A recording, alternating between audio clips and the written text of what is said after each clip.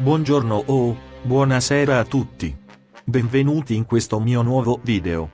Oggi vorrei parlarvi di una teoria su Dragon Ball Super. Vi ricordo che sono solo teorie, niente di certo. Iniziamo subito. Avete mai notato come faccia Shenlong a conoscere Bills, se non l'ha mai visto e ogni volta che compariva per esprimere i desideri, rimaneva pochi secondi e spariva? Forse secondo me esiste un regno dei draghi.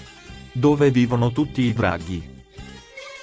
Perché da come ho capito, i Namechiani non creano i draghi, ma creano oggetti per evocarli.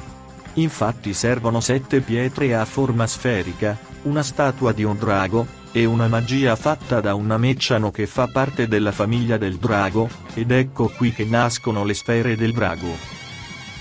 Vi ricordate nella prima serie di Dragon Ball, quando il grande mago piccolo, uccise il drago Shenlong? Secondo me non uccise il drago ma, la sua statua che conteneva il suo potere. Infatti dopo poco la ricostruì. Secondo me questa evocazione è simile alla tecnica del richiamo in Naruto. In Naruto la tecnica del richiamo funziona così, dopo che hai stipulato un contratto di sangue con l'animale scelto in questione, per esempio il rospo, l'individuo può richiamare un rospo, infatti lo evoca e non lo crea.